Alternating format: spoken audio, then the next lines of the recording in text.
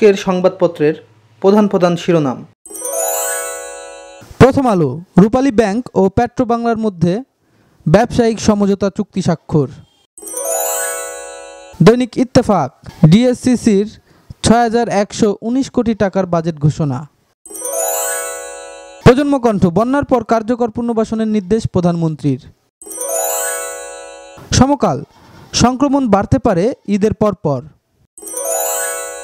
আমাদের সময় অধিকাংশ কোভিড পরীক্ষায় অপচয়, কেননা আটচল্লিশ ঘণ্টা পর ফলাফল দেওয়ার কোনো মানেই হয় না। Bill Gates. কালের কণ্ঠ, স্বাস্থ্য ব্যবস্থার প্রতি মানুষের আস্থা নেই, ফখরুল। যায় যায় দিন, চার পুলিশ সহ পাঁচজন আহত, পল্লবী থানায় বোমা বিস্ফোরণ।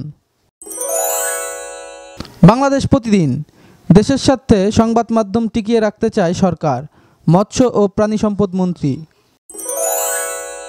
দৈনিক ইনকিলাব, জাতীয় মসজিদে ঈদের প্রথম জামাত সকাল সাতটায়। যুগান্তর, ষাটবাগ কোভিড বেড খালি স্বাস্থ্যমন্ত্রী। The Daily Star, no scope to study in shelters flood hit children lagging behind. The New York Times, teachers are wary of returning to class and online instruction too. The Guardian Too much power. Congress grills top tech CEOs in combating antitrust hearing. ABC News Coronavirus updates Global cases of COVID 19 surged by 2 million in just 8 days.